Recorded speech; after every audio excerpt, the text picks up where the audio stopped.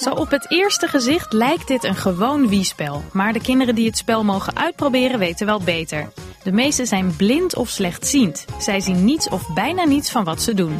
Hoe gaat het tot nu toe? Goed. Wat vind je ervan, hoe ze het hebben gemaakt? Leuk. Kinderen op deze school vonden het hard nodig dat er ook een Wii-spel voor hun werd gemaakt.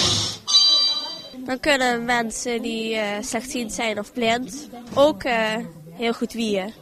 Het is niet alleen voor slechtzienden en blinden, ook voor goedzienden. Het is voor iedereen eigenlijk. En dat is leuk als je een spel maakt dat voor iedereen geschikt is. Maar hoe maak je een computerspel als de speler het scherm bijna niet of helemaal niet kan zien? Welkom, ontdekker. Met geluid bedachten de makers. Ik zie dat u de schat heeft gevonden.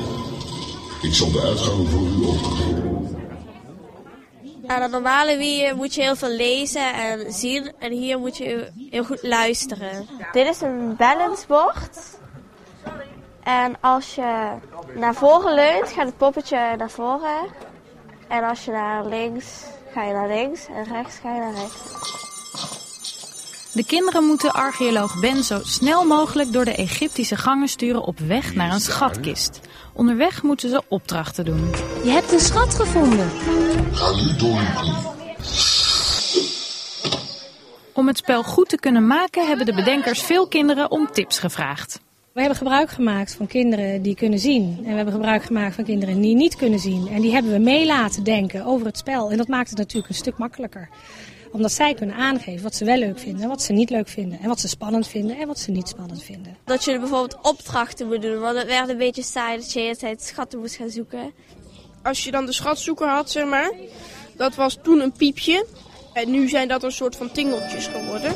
De kinderen hier verheugen zich erop straks samen met goedziende kinderen te spelen.